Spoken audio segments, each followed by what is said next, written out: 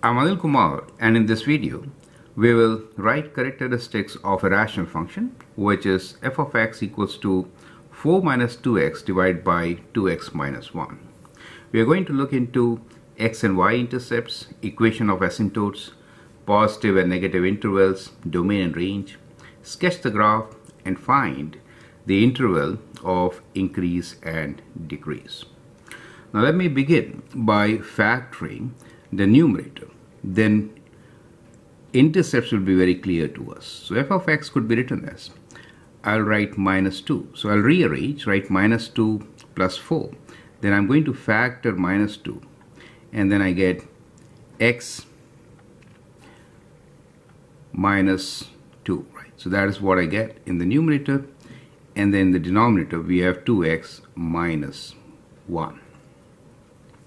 Now from here, to write down the x and y intercepts, x intercepts are when the numerator is 0 so clearly, numerator is 0 at x equals to 2, right? So we get x-intercept as 2. So we can write x-intercept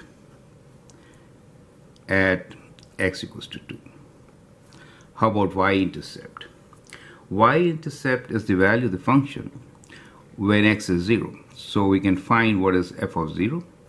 f of 0 in this case will be 4 divided by minus 1, right? So it is 4 divided by minus 1 which is minus 4 so we get the y-intercept now equation of asymptotes now we know that the denominator 2x minus 1 will be 0 at x equals to half right so so to get the asymptotes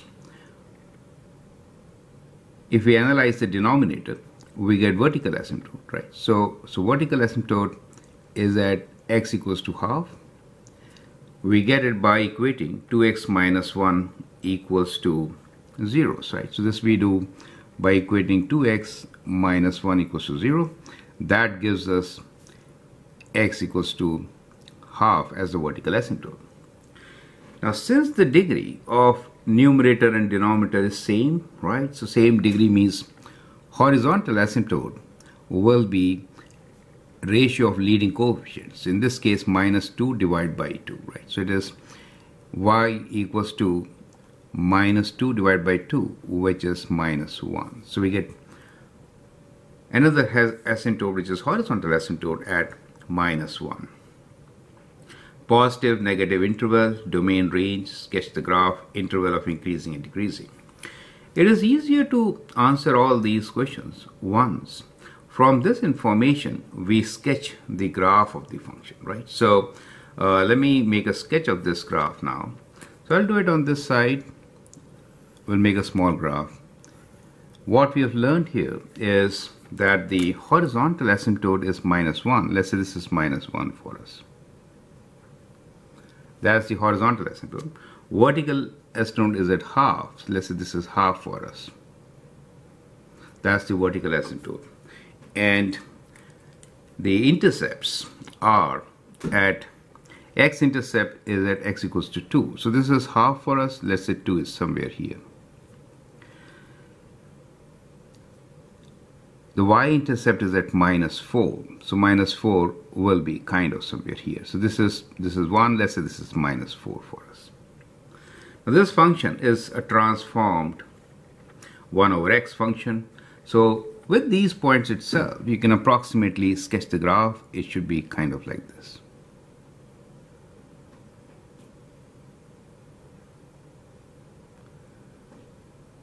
Right. So you get a graph which is kind of like this.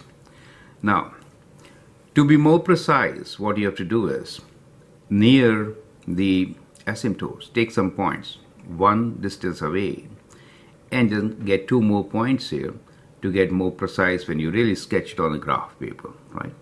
Anyway, here we'll continue with our discussion and uh, we'll write down all of the things required for this exercise. So let me write down here that the y-intercept is is minus 4, the x-intercept is 2. Now x-intercept is a point where the graph changes from negative to positive, right? Or positive to negative. Now let's answer positive negative intervals. Now from the graph we can see that the positive interval is from the vertical asymptote which is at this vertical asymptote is at let me write down here. X equals to half right? So that is the that's the value of this x value for the vertical asymptote. So what we see is that the positive interval let me write positive interval is from half to 2 right? After that it becomes negative from half to 2 for the negative interval the function has negative interval from minus infinity to half the vertical asymptote so minus infinity to half and then from 2 to infinity. So we can write comma or union 2 to infinity. Domain and range. As far as the domain is concerned it is x belongs to real numbers except for the vertical asymptote which is at half. So x is not equal to half.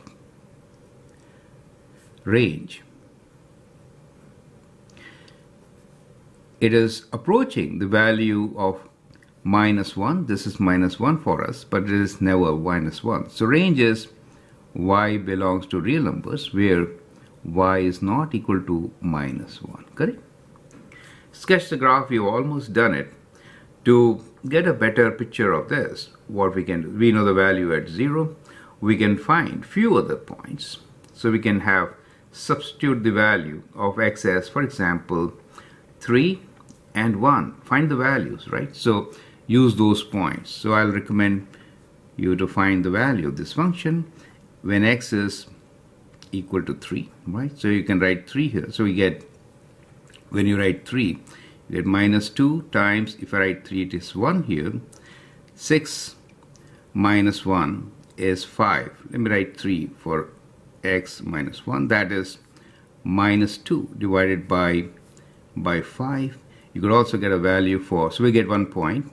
And then you can try write down the value of x. We already know at half so let's do 1 and if I write 1 here we get 4 minus 2 as 2 in the numerator and 2 minus 1 as 1 so it is 2 so at 1 we know it is 2 actually.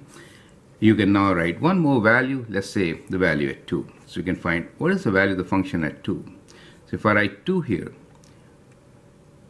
so at 1 it is 2 so at 1 we can say the value is 2 so this point is 2 here right? So we get some more points on the graph.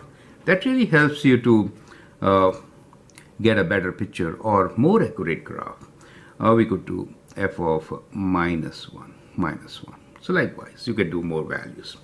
To make a table of values, select at least 5 points. My recommendation is 5 points for accuracy.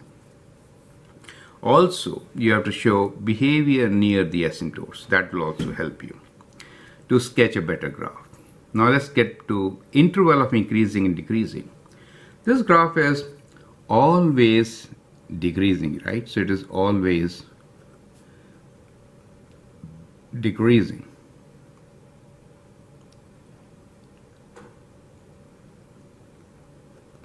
So uh, the interval here is from minus infinity to the vertical asymptote which is at half and then from half to positive infinity. It's always decreasing, never increasing.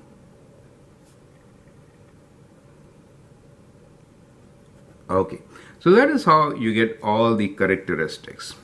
Now let me also discuss the behavior near the asymptotes. So what we see here is that we have written the function here as f of x equals to minus 2 times x minus 2 divided by 2x minus 1.